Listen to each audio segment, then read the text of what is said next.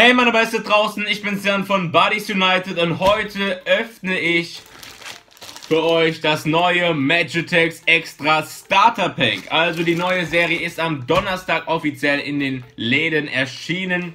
Wir haben ja schon ein Pack Opening am Donnerstag gebracht, gestern bei Pack War auch die ersten Magitex Extra Karten gehabt und heute kommt das Starter Pack und ja, also ganz allgemein, das Ganze kostet 8,99 Euro, wie man das Ganze auch gewohnt ist. Und was hat man da drin? Ähm, der Inhalt, 10 Karten plus eine Limi. Ähm, Sammelmappe, Sammlermagazin mit Spielfeld und Spielregeln. Und ja, ich würde mal sagen, dann machen wir auch das Ganze gleich mal auf. Muss man einfach hier aufreißen. Oder ich hole mir einfach eine Schere dazu.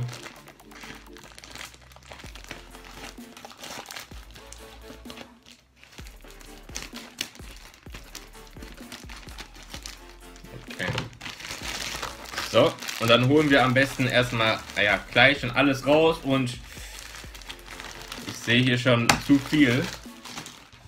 Und ja, was haben wir hier? Als erstes haben wir natürlich die Sammelmappe, wie man es gewohnt ist. Und das hat auch, da kommt gleich dieser typische, sage ich mal, Magitex-Geruch raus von neuen Magitex-Karten. Und richtig nice. Ähm, ja, also noch eine leere Mappe. Dann haben wir hier das Deckblatt. Mal schauen, wer da alles drauf ist. Tisserand von Ingolstadt, ähm, Aitaj Zulu, Michael Hector, äh, Mario Götze, Naldo, Gebre Selassie und ähm, Finn Bogason ist es, ja. Und natürlich Magitex extra, das Ganze in orange-grün. So sind auch die Päckchen.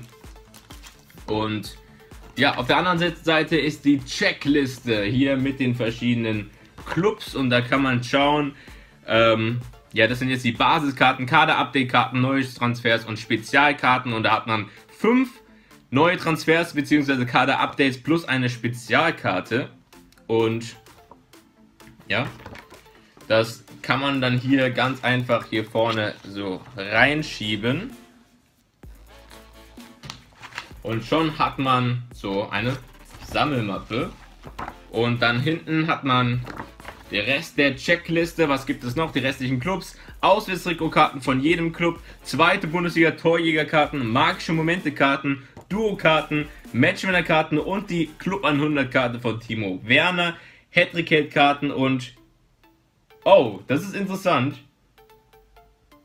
Es gibt ja neue Top-Fantasy-Spielerkarten. Ähm, und bislang wusste ich noch nicht, in ja, wie viele es davon geben wird und was es alles gibt. Wir haben ähm, Anthony Modest schon gezogen, ich habe Robert Lewandowski schon gesehen und ich war wirklich gespannt, wen es noch gibt. Und jetzt sehe ich gerade, es gibt auch nur diese beiden. Also hier unten Top-Fantasy-Spieler ähm, Anthony Modest und Lewandowski. Jetzt, dann verstehe ich es aber wirklich. jetzt verstehe ich es aber weniger irgendwie. Ich dachte, es gibt dann irgendeine Top 11 der Hinrunde sozusagen von den besten ähm, Spielern oder von jedem Verein den besten Spieler oder so, der die meisten Punkte gebracht hat, aber zwei Stück. Also ich finde die vom Kartendesign und so finden und von der Idee finde ich eigentlich das geil, aber naja. Bin ich ein bisschen komisch. Und dann hinten haben wir nochmal Werbung für die Gewinnspiele. Man kann die Codes, die in jedem Spiel, in, in jedem Päckchen drin sind, eingeben und dann einmal virtuell Matchday spielen und dann an Gewinnspielen teilnehmen sozusagen. Und es gibt hier viele coole Gewinnspiele, über 1000 Stück, sagst hier wahrscheinlich einer der besten Preise, ein Meet and Greet, ein Treffen mit Rafinha vom FC Bayern, zehnmal den Torfabrik, ähm, einmal ein ähm, Tischkicker, 15 Bundesliga-Trikots deiner Wahl, über 1000 unterschriebene Match-Attacks-Karten, das ist richtig nice, hier haben die paar Beispiele gemacht. Und noch viele weitere und ja, wie gesagt, mal einfach die Pack, äh, ähm, Codes aus den Päckchen eingeben. Und diese Seite kann ich auch hinten reinmachen. Und dann sieht das so aus. Wobei, ganz persönlich finde ich das immer besser, wenn hinten irgendwie das auch, weißt du, wenn so, so Werbung, dann soll es entweder drinne sein oder im Sammlermagazin oder sowas, aber hinten so diese dieser Hinweis zu den, na, ich hätte da lieber irgendein großes Bundesliga-Logo oder großes Matchatex-Logo, das wäre geil. Aber naja, trotzdem ganz cool.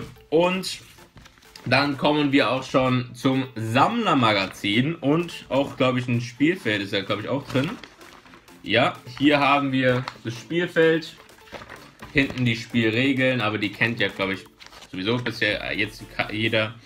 Hier vorne haben wir auch noch ein paar Spieler abgebildet und dann Hits, den das Matchwinner gibt. Ähm, und ja, wir noch Cater, Fabi, ähm, Fabian Johnson, Müller, Winterlab, ich glaube es ist Philipp und De Blasis, also ein paar Spieler. Und dann haben wir hier in der Mitte haben wir einige Informationen nochmal zur Serie. Und das ist immer richtig, richtig informativ, sage ich mal, richtig interessant. Und ähm, ja, hier neue Transfers. Während der Winterpause haben die Bundesliga-Clubs sich mit neuen Spielern verstärkt. Das kannst du jetzt auch tun. Die neuen Transfers beinhalten unter anderem die dänischen Mittelfeldspieler Thomas Delaney, den Franzosen Timothy Kolusczek und den Niederländer ähm, Bazuer. Ähm, und dann Duo-Karten, Hattrick-Helden gibt es 10 neue.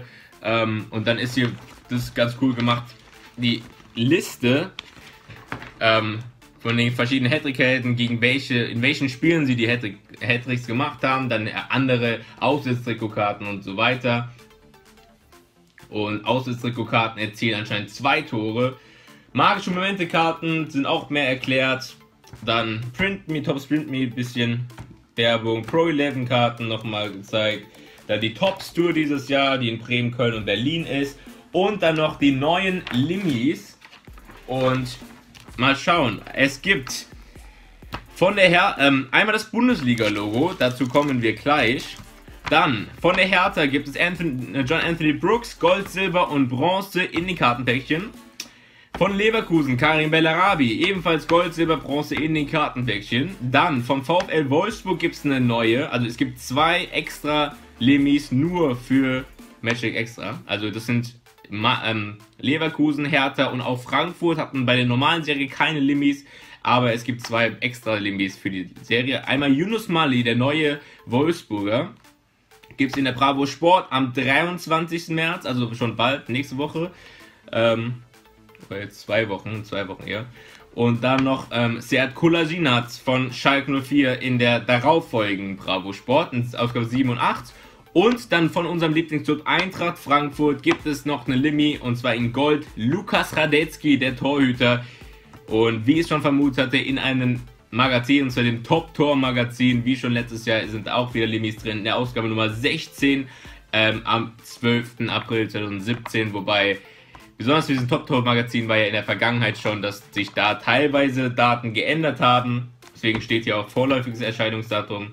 Und ja, das waren die Infos und jetzt kommen wir zu dem, worauf ihr natürlich auch natürlich gespannt seid und zwar Karten natürlich. Hier haben wir ein kleines transparentes ähm, Päckchen und was ich eben, glaube ich, schon mal kurz gesagt was ich nicht so toll fand, man sieht hinten schon ja, was für eine Spezialkarte drin ist. Und von die Limi ist ja nicht schlimm, das ist ja klar, was drin ist, aber naja, die besonderste, die beste Spezialkarte, das hätte ich, naja. Aber was mir gerade erst auffällt, ist, hier sind 10 Karten drin. Ich glaube, in der Vergangenheit waren da immer nur 5 drin. Deswegen große Daumen nach oben an Tops, ähm, dass da jetzt mehr Karten drin sind. Dann erstmal Pro 11 Coach. Und dann gehen wir jetzt durch die Karten. Als erstes also die limitierte Auflage, das Bundesliga-Logo in Gold natürlich, 100-100. Ähm, so es aus von hinten. Nochmal ein kleines Bundesliga-Logo. Ich finde es ein bisschen interessant, dass sie das reingepackt haben und keine der drei Limis, zum Beispiel Radetzky, hier rein. Aber das sieht auf jeden Fall richtig nice aus. Dann machen wir weiter mit Karten. Diamantakis, Diamantakos von KSC. Ähm, hier Girassi, der ähm, vor der Saison, glaube ich, für dreieinhalb Millionen sogar geholt, aber nicht so richtig eingeschlagen, glaube ich, von Köln. Dann ähm, Jung von Ingolstadt, Vel Veljkovic, Mehmedi, äh, hier Rudi Auswärtstrikotkarte von Hoffenheim, Dominik Marot von Köln, Dann Christian Pulisic als Magic Moment, magischer Moment, Punktretter gegen Ingolstadt. Borussia Dortmund. Und Matchwinner Jesus Vallejo, der Innenverteidiger von Eintracht Frankfurt, die Liga von Real Madrid. Richtig starke Hinrunde gespielt. Jetzt ja aktuell leider verletzt. Hoffentlich kommt er bald zurück. Ähm, und die Eintracht braucht ihn auch. Und ja, richtig nice. Und was ein Zufall, dass in unserem ähm, Starter Pack dann auch unser ähm, sozusagen der Match in unserem Lieblingsclub. Und überhaupt das Match, wenn drin ist, finde ich richtig stark. Die letzten Jahre war es meistens ja so, dass die Limit drin war und fünf Basiskarten. Und jetzt hat man drei wirklich starke Karten, eine Limi, ein Matchwinner, eine Special-Karte, wie also hier eigentlich wie normales Päckchen, das ist eigentlich normales Päckchen plus eine Limi. Also finde ich stark, finde ich gut, gute Änderung von Tops, ein ähm, bisschen freundlich, sage ich mal, ähm, verbraucherfreundlicher, sagt man so, bisschen auf die ähm, Sammler eingegangen. Und ja, das war es auch schon mit dem Video von der Sammelmappe. Und ich hoffe, es hat euch gefallen. Schreibt mir in die Kommentare, was war euer bestes Päckchen der neuen Matchstrike Extra Serie. Es haben ja einige schon Timo Werner bekommen, habe ich unter den letzten Videos gelesen. Und ähm, ja, schreibt mir in die Kommentare, was euer ja, bestes Pack war und was für ein Grund, weil für manche ist vielleicht das beste Pack, wo der Lieblingsspieler drin ist, für die anderen vielleicht Club 100, vielleicht ein Matchwinner. Würde mich wirklich interessieren und ja, wir sehen uns bald wieder hier bei Beides United. Ciao.